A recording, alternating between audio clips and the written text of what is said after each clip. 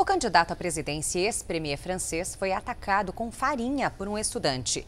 Manuel Valls entrava em um café em Estrasburgo para encontrar com autoridades locais quando o manifestante então atirou farinha nele. Ele protestava contra um artigo da Constituição usado pelo governo para aprovar leis sem votação na Assembleia Nacional. Apesar do incidente, o candidato seguiu a agenda normalmente.